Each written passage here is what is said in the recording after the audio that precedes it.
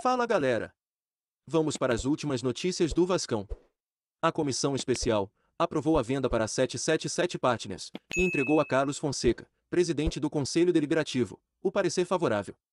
Com a conclusão dessa etapa, o próximo passo no rito de aprovação é convocar o Conselho Deliberativo para votar, mas isso não pode ser feito enquanto estiver em vigor a liminar obtida pela Comissão de Direitos do Consumidor da Alerj que suspende qualquer ato convocatório que diga respeito à SAF.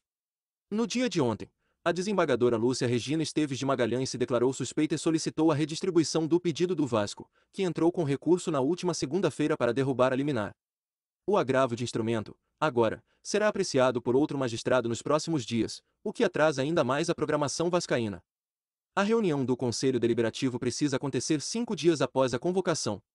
Em seguida, o próximo e último passo do rito é a convocação da Assembleia Geral Extraordinária, onde os sócios terão a última palavra e decidirão se aprovam ou não a venda de 70% da futura SAF do Vasco a 777 Partners. O clube espera concluir esse processo antes do fim da janela de transferências, que será encerrada no dia 15 de agosto. O objetivo é contar com o poderio financeiro do grupo americano para reforçar o elenco ainda nesta Série B. Ontem, um pouco antes de ir embora, a delegação da 777 visitou o prédio da CBF e se reuniu com o presidente Dinaldo Rodrigues num evento que serviu de mera formalidade, com fotos e apertos de mão.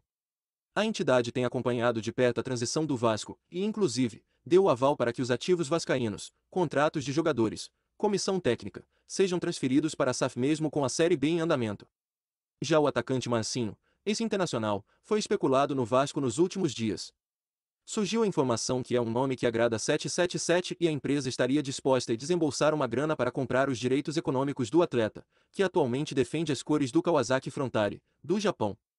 Para esclarecer a situação, o canal Atenção Vascaínos entrou em contato com o atacante, que abriu o jogo sobre a possibilidade de assinar com o Vasco neste momento. O atleta deixou claro que está adaptado ao Japão e dificilmente o seu time liberaria, já que é um dos principais nomes da equipe. Verdade. Saiu aqui que eu estava indo para o Vasco, mas é difícil eu sair agora.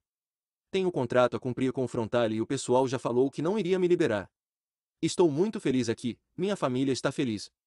Seria muito difícil uma saída agora para o Brasil ou para outro clube, afirmou. Diga nos comentários o que você acha do atacante Marcinho. Também deixe seu gostei, se inscreva no canal e ative o sininho, para receber todas as principais notícias do Vasco. Abraço!